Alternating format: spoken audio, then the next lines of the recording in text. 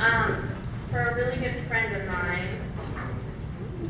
Um, she was definitely going through a hard time when I wrote it, and it's just sort of a reminder to you know, keep breathing and um, keep your eyes open and really persevere, and that things will get a lot better. Um, it's called Bright Eyes.